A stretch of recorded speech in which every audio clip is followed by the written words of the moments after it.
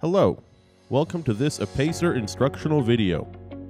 Today, the Apacer team will show you how to install an SDM SSD on a motherboard.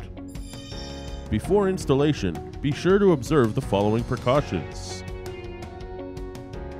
Fully shut down and power off your system, and ground yourself by wearing the appropriate anti-static gloves, coat, and wrist straps. Don't remove the SSD from its bag until it's time to install the SSD.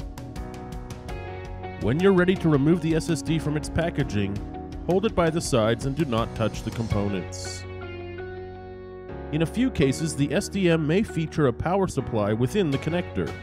If it does, the SATA connector will have two small metal pins, which will correspond to pins on the motherboard. A motherboard connector without the pins looks like this. If you're using this power supply, you shouldn't connect power via the motherboard's power supply as well, as this can damage the SDM. In most cases, a cable will need to be added to supply power. A cable that looks like this will be supplied in the packaging if it's part of your order. We suggest you connect the power cable first before installing the SDM on the motherboard. In this sample case, the four-pronged plug is gently connected to the power supply.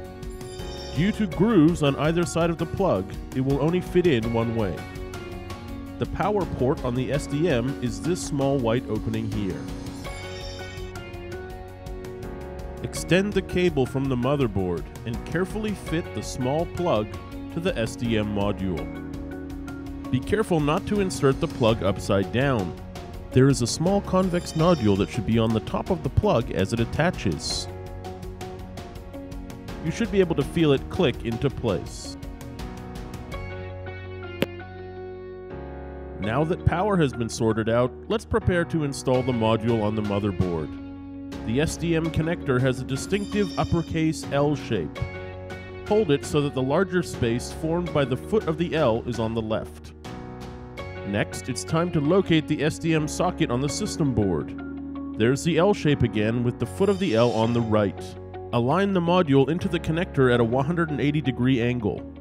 Line up the foot of the L on the module with the L on the connector. Remember that one is a mirror of the other. Press it firmly into the socket. You may hear or feel a faint click as the connector on the bottom of the module fits into place. If you want to remove the module, there's an extra step to keep in mind. First, press the connector at the bottom of the module to allow it to release a connection.